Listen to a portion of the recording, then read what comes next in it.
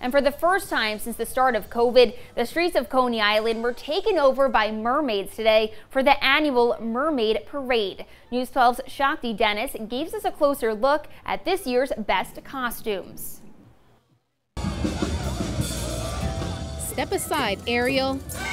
For the first time in two years, mermaids, sharks, and Jack Sparrow himself strolled down Surf Avenue for the wildly anticipated Mermaid Parade. It's been really such a long wait, and our heart is here, and it was so good to come and meet old friends that we only see when we're here, and it's like we saw them yesterday. New Yorkers from all boroughs showing off their creativity in the hopes to impress the judges.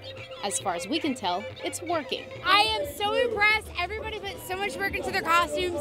The parade's been awesome so far. Lots of good music, lots of good dancers. Having a great time. Roxy Holloway has been coming to the parade for years, but this year is extra special. Um, I've been a COVID nurse, so I was here in the city and I got deployed. So I actually have not been home since the last Mermaid Parade. But I'm just grateful to be here. I'm just grateful that the city's back.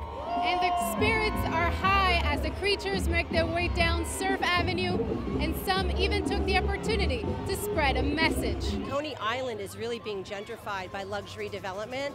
So there's a huge loss of like small businesses and also like deeply affordable housing. This year is also special because it marks the parade's 40th anniversary. There's just something so special and heartwarming and unique and real about being uh, in person. I can't even describe it. It's amazing. The parade made its way to the boardwalk, leaving behind a lot of happy faces. In Coney Island, Shakti Dennis, News 12.